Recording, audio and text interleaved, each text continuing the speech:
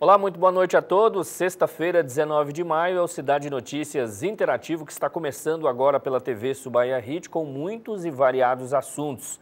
A gente vai trazer os detalhes sobre um grave acidente que ocorreu em Lagedão hoje pela manhã. Também os detalhes sobre o incêndio de um ônibus coletivo aqui em Teixeira de Freitas, no bairro Tancredo Neves. Nós vamos trazer informações sobre o dia D de vacinação contra a gripe, vai ser amanhã aqui em Teixeira de Freitas. Tem ainda informações sobre o Congresso Homens e Mulheres que Vencem da Igreja Internacional da Graça de Deus. E os detalhes sobre o leilão da Polícia Rodoviária Federal aqui na Bahia, com mais de 1.500 veículos disponibilizados. Quem chega também é a Ronda pelos bairros com muitos problemas que precisam de solução. Estes e outros assuntos a partir de agora.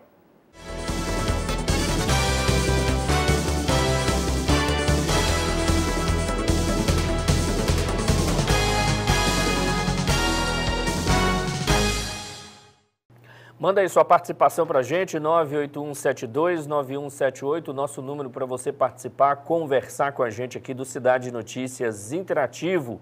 O número está aí na tela, 73 é o DDD aqui da nossa região.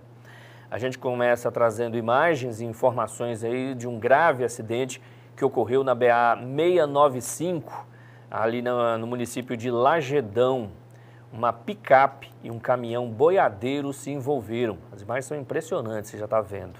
Os dois veículos pegaram fogo e o motorista da picape morreu carbonizado. Ele ainda não foi identificado, justamente, né, infelizmente, aí, por conta das condições em que os restos mortais é, ficaram desse motorista. Ele ainda não foi identificado. O caminhoneiro é, ficou ferido ele teve ferimentos leves e foi encaminhado para o hospital. Ele contou que foi surpreendido pela picape capotando e invadindo a contramão. Os restos mortais da vítima foram trazidos para o Instituto Médico Legal aqui de Teixeira de Freitas. Agora o trabalho para fazer aí o reconhecimento, né, a identificação dessa pessoa que morreu nesse acidente na BA 695 no município de Lagedão. Outras imagens impressionantes né, circularam nas redes sociais. Um susto no bairro Tancredo Neves ontem à noite, aqui em Teixeira de Freitas. Um ônibus da aviação Santa Clara, que fazia a linha Liberdade Nova América, pegou fogo. Isso mesmo, pegou fogo, ficou totalmente destruído. O motorista, por sorte, percebeu logo ali as chamas, que foi ali perto dele, e aí abriu a porta, todo mundo que estava dentro do ônibus conseguiu fugir, também o motorista, ninguém ficou ferido. O incêndio que você está vendo aí foi na rua João Amaro Gomes, no início da noite de ontem aqui em Teixeira. As chamas chegaram à fiação elétrica, né, a rede elétrica, a energia elétrica da região teve que ser desligada, ninguém ficou ferido. Como eu disse, o incêndio foi combatido aí pelo Corpo de Bombeiros, um susto danado, ontem à noite no bairro Tancredo Neves. Olha só, essa imagem é impressionante, né? As chamas é, que inclusive danificaram parte de uma casa onde o ônibus estava próximo. Olha só a quantidade de fogo ontem à noite nesse ônibus da aviação Santa Clara, um prejuízo danado para a empresa, né? Acidente aí registrado, a gente vai acompanhar esse assunto para saber aí depois é, as, depois das análises, quais foram as causas aí desse incêndio. Pela Bahia, muitas notícias, sempre é assim, entre os assuntos crime ambiental, operação contra o tráfico de drogas e uma tentativa de sequestro no oeste da Bahia. Vamos aos detalhes. Operação da Polícia Civil, seis envolvidos com homicídios, tráfico de drogas e crimes contra o patrimônio foram localizados durante a operação do Departamento de Homicídios e Proteção à Pessoa, dois suspeitos acabaram mortos na ação. Crime ambiental: cinco fornos ilegais de produção de carvão e cerca de duas toneladas de carvão produzidas com madeira irregular foram localizados pela Companhia Independente de Polícia de Proteção Ambiental e INEMA. Quadrilha desarticulada em Porto Seguro. Polícia Militar localizou o acampamento de uma facção criminosa. Ninguém foi preso mas foram apreendidos no local duas espingardas, imitações de fuzil e pistola, um colete balístico, munições, aproximadamente 9 quilos de maconha, 6,5 kg de cocaína e cerca de 1 quilo de crack. Tentativa de sequestro. A vítima foi um gerente de banco. A polícia militar foi avisada e, chegando ao local onde estavam os criminosos, houve confronto. Dois suspeitos foram mortos. Dois revólveres foram apreendidos. Susto aí para esse gerente, para a família dele, agora se recuperar, né? Dessa tentativa de sequestro que ocorreu em Barreiras, lá no oeste da Bahia. Os gerentes de banco sempre vivem em alerta. Bora para a Ronda? Vamos para a Ronda. Hoje tem muitos, como sempre, muitas é, situações para a gente mostrar. A gente começa com uma aqui que você já está vendo no caminho do Mar 2.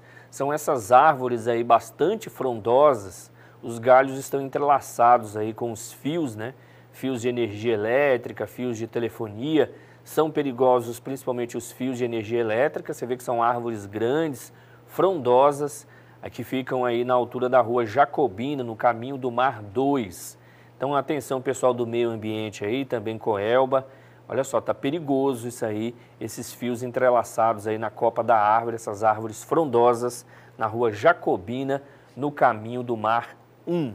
Bom, vamos agora para o Jardim Caraípe para a gente mostrar aqui um perigo, muita preocupação dos moradores com esse poste aí que está inclinado, está claro nas imagens aí, na rua Castelo, no Jardim Caraípe. Olha só como é que o poste está inclinado aí, é, na rua Castelo, no bairro Jardim Caraípe. Preocupação dos moradores, de quem passa por aí também com essa situação. Atenção Coelba aí para esse poste.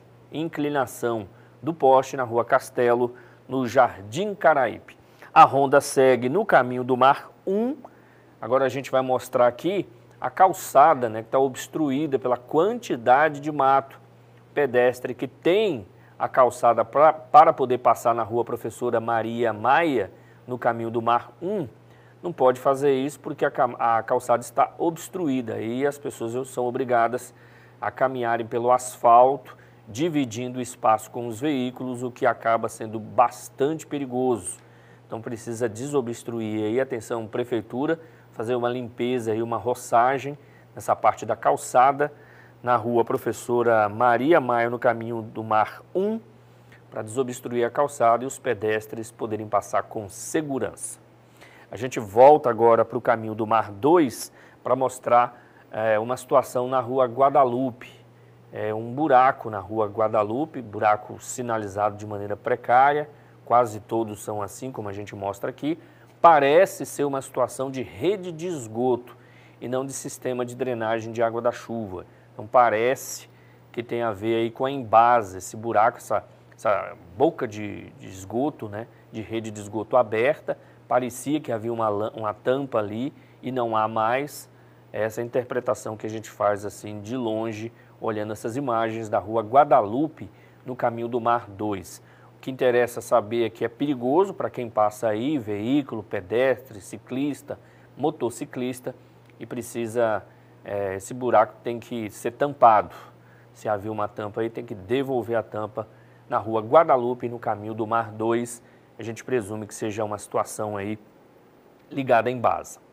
Olha, a Polícia Rodoviária Federal aqui na Bahia vai realizar um leilão com mais de 1.500 veículos. Para quem gosta de participar desses leilões, tem esse aí da Polícia Rodoviária Federal aqui no nosso estado.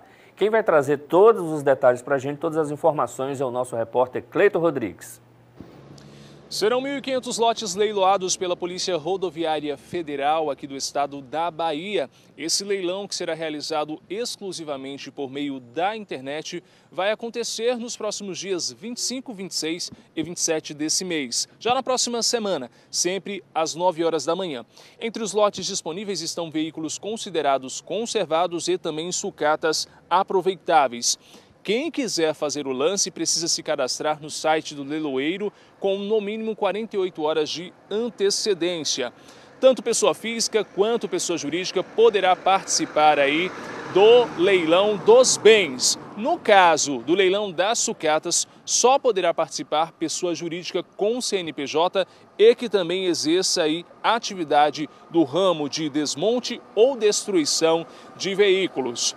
Bom, você pode verificar todos os lotes disponíveis, além dos horários e também o endereço dos pátios para visitação pública no site do leiloeiro, que é o seguinte: danielgarcialeilões.com.br Caso você tenha dúvidas, é possível fazer uma ligação gratuita ou então entrar em contato com o pessoal da equipe por meio do WhatsApp utilizando o número 0800 278 7431. Ainda é possível encaminhar um e-mail pro leilões@dgleilões.com.br. Portanto, se você tem interesse em participar, dá uma acessada no site lá da Polícia Rodoviária Federal aqui do estado da Bahia para poder ver direitinho ou então acessa diretamente o site do leiloeiro.